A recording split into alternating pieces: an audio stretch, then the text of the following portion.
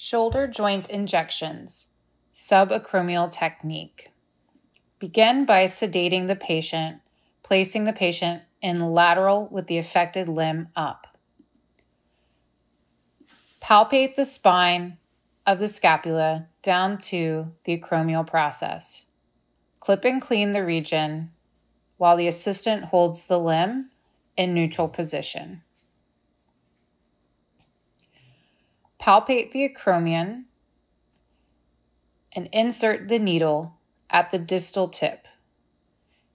Carefully walk the needle into the joint, avoiding trauma to the cartilage. Once the needle has reached the joint line, gentle distraction may be performed by the assistant. Acquire joint fluid for confirmation of placement using a 5 ml syringe. Once confirmed, inject products slowly. There should be no resistance.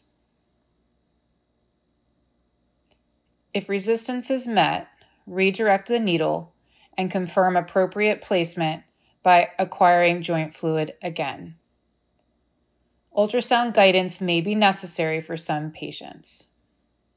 Remove the needle and perform range of motion.